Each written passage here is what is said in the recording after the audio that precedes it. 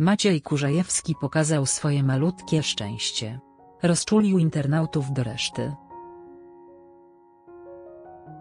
Maciej Kurzajewski rozczulił wszystkich swoich obserwatorów na Instagramie ostatnim zdjęciem, który zamieścił na swoim profilu.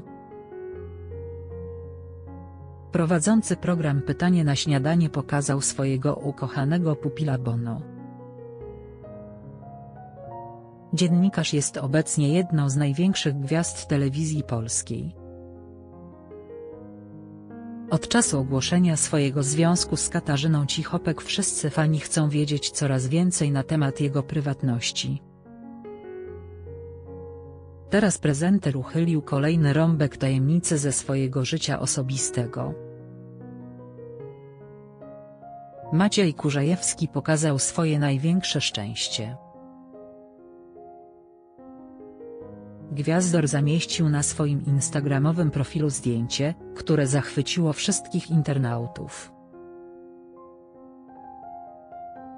Maciej Kurzajewski pochwalił się swoim pupilem, czyli owczarkiem niemieckim o imieniu Bono.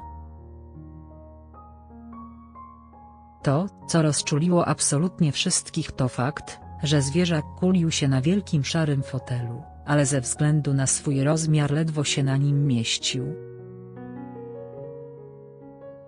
Kiedy myślisz, że nadal jesteś szczeniaczkiem? Wszędzie dobrze, ale na fotelu najlepiej, napisał Maciej Kurzajewski na Instagramie. Maciej Kurzajewski z chęcią chwali się swoim pupilem. To nie pierwszy raz, kiedy prezenter TVP chwali się przed fanami swoim pięknym pupilem.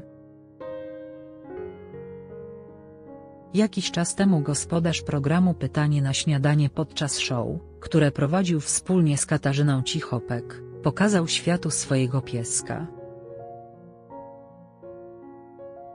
Bono towarzyszył gwiazdom śniadaniówki przez cały czas trwania produkcji i już wtedy bardzo przypadł do gustu telewidzom.